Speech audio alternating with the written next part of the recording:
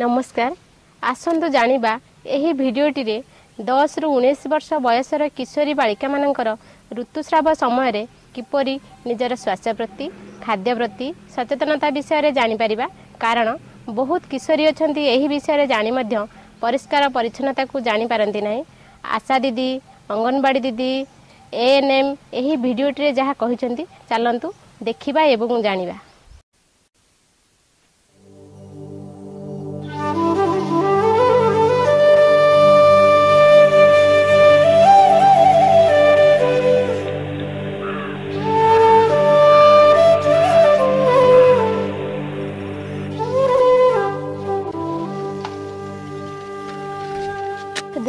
ନମସ୍କାର। ନମସ୍କାର।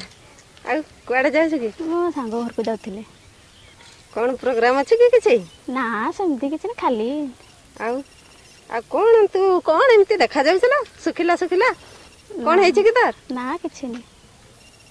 କିଛି ନାହିଁ? ହଁ। କ'ଣ କ'ଣ ଖାଉଛୁ? ତୁ ଏତେ ପତଳା କେମିତି ହେଇଗଲୁଣି? ଧୀରେ ଧୀରେ ଶୁଖି ଯାଉଛୁ ତ।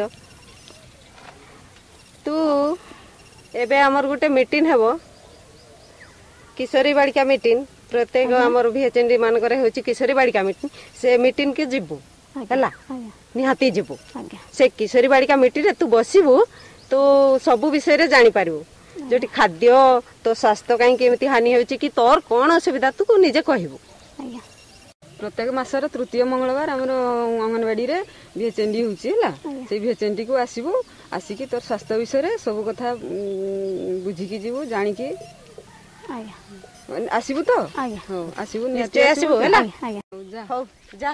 ଆଜ୍ଞା। ଆସିବୁ କିନ୍ତୁ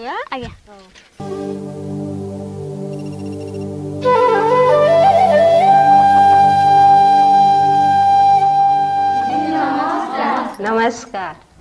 ଆଜିକାର କିଶୋରୀ ବାଳିକା ମିଟିଂରେ ସମସ୍ତ କିଶୋରୀମାନଙ୍କୁ ଆଉ ଆଶା ଦିଦିଙ୍କୁ ମୋର ସ୍ୱାଗତ। ଆଜି ଯେଉଁ କିଶୋରୀମାନଙ୍କ ବିଷୟରେ ମୁଁ କିଛି କହିବି ବା ଆଲୋଚନା କରିବା ଆଉ ଯେଉଁଟାକି ଆଜିକା ସମାଜରେ କିଶୋରୀମାନଙ୍କୁ କିଛି ଶିକ୍ଷା ଦିଆଯିବ ସ୍ୱାସ୍ଥ୍ୟ ବିଷୟରେ କି ତାଙ୍କର ଶରୀର କିପରି ଠିକ୍ ରହିବ ସେ ବିଷୟରେ ହିଁ ମୁଁ ଆଜି ଆଲୋଚନା କରିବି। ଦିଦି ଆମେ କେଉଁମାନଙ୍କୁ କିଶୋରୀ ବାଳିକା କହିବା?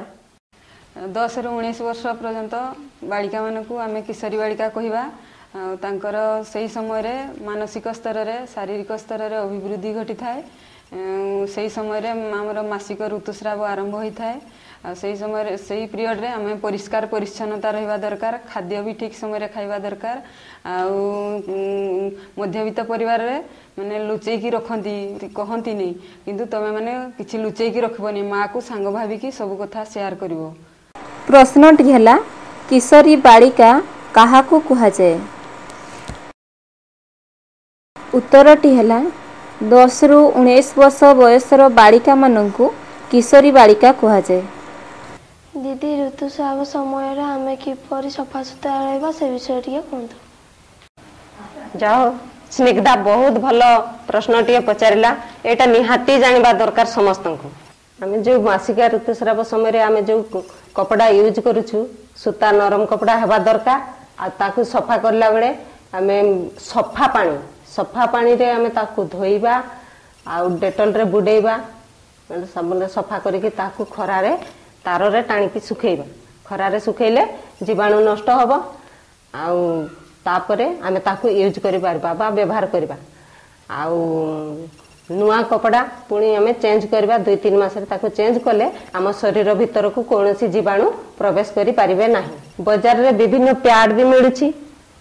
ତେଣୁ ସେ କେବଳ ତୁମେ ଦେଖିବ ତାର ଏକ୍ସପାୟାର ଡେଟ୍ ଅଛି କି ନାହିଁ ଟିକେ ଦେଖିକି ତାକୁ ବ୍ୟବହାର କରିବ। କରିସାରିଲା ପରେ ଏଣେ ତେଣେ ଫୋପାଡ଼ିବା ଦରକାର ନାହିଁ ତାକୁ ତାକୁ ମାଟି ତଳେ ପୋତି ଦେବ ସେହି ସମୟରେ ପ୍ରତ୍ୟେକ ଦିନ ଉଷୁମ ପାଣିରେ ଗାଧୋଇବା ଭଲ ଆଉ ପରିଷ୍କାର ପରିଚ୍ଛନ୍ନ ରହିବା ଭଲ ଆଉ ଲେଟ୍ରିନ୍ ବ୍ୟବହାର କରିବା ଭଲ ଚପଲ ପିନ୍ଧିକି ଝାଡ଼ା ଯିବ ମାସ ଦିନକୁ ଦୁଇଥର କପଡ଼ା ଚେଞ୍ଜ କରିବା ଭଲ।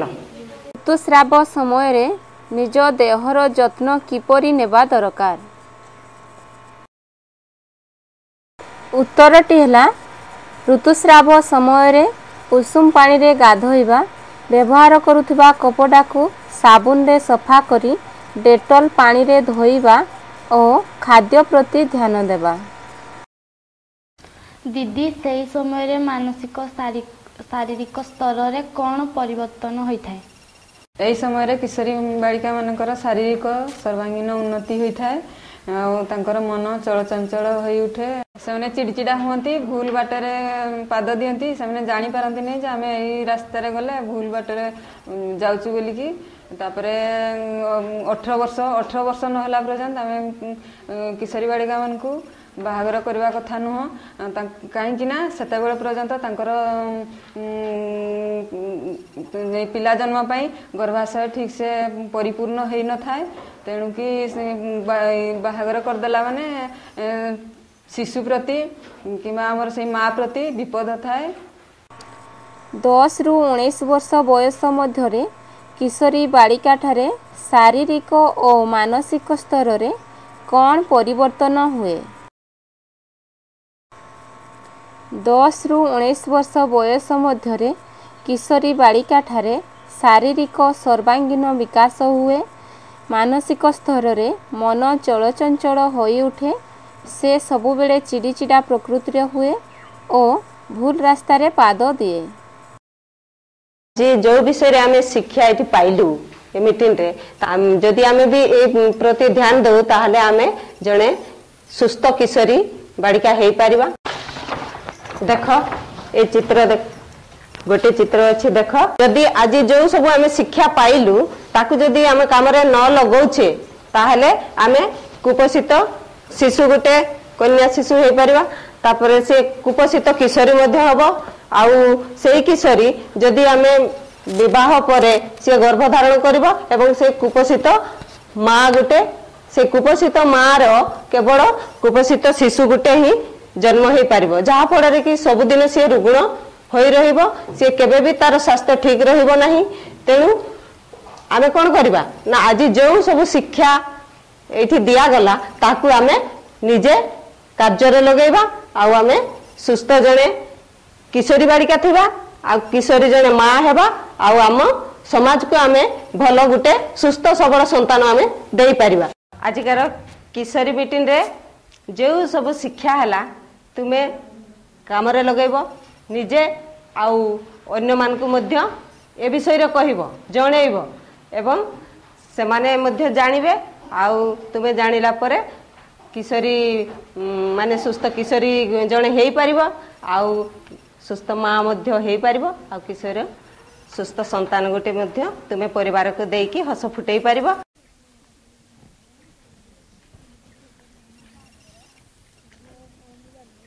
କଣ କରୁଛ କିରେ ପିଲାମାନେ? ଗଛ ମୂଳେ ବସିଛ? ଗପ ସପ କରୁଛ। ଆଉ କୁଆଡ଼େ ଯାଉଛନ୍ତି ଟିକେ ବସନ୍ତୁ ଆପଣ ଟିକେ କଥା।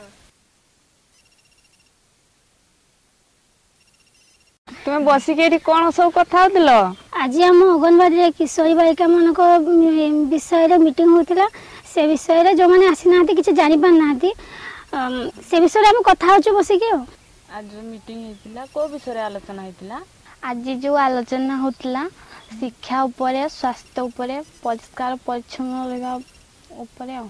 ଦିଦି ସବୁ ଆଲୋଚନା କଲେ ଖାଦ୍ୟ ଉପରେ କିଛି ଆଲୋଚନା କରିଥିଲେ ଭଲ ହେଇଥାନ୍ତା। ଖାଦ୍ୟ ବିଷୟରେ ଜାଣିବା ପାଇଁ ଦେଖ ପିଲାମାନେ ଖାଦ୍ୟ ହଉଛି ଦୁଇ ପ୍ରକାର। ଗୋଟିଏ ହଉଛି ଆମିଷ ଜାତୀୟ ଖାଦ୍ୟ ଆଉ ଗୋଟେ ହଉଛି ନିରାମିଷ ହେଲା। ନିରାମିଷରେ ଯାଉଛି ଆମର ସବୁଜ ପନିପରିବା ସବୁଜ ପନିପରିବା କୋବି ଆଳୁ ବାଇଗଣ ବିଲାତି ଆଉ ଶାଗ ବିଭିନ୍ନ ପ୍ରକାର ଶାଗ ଅଛି ଆମର ବାଡ଼ିରେ। ସଜନା ଶାଗ ଆମର ଲେଉଟିଆ ପାଳଙ୍ଗ କୋଶଳା ଏମିତି ଶାଗ ଅଛି। ତାକୁ ଆଣିକି ଆମେ ଆମେ ତାକୁ ସଫିସିଏଣ୍ଟ ଭାବରେ ଖାଇପାରିବା।